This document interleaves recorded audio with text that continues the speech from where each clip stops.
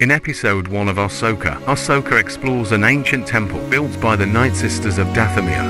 As she explores, a voice can be heard.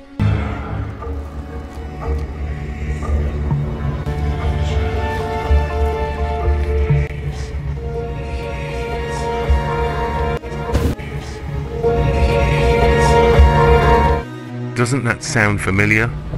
He is the key to everything.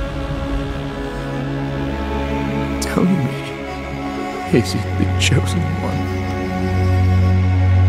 Does that sound like Maul? Let me know your thoughts in the comments below.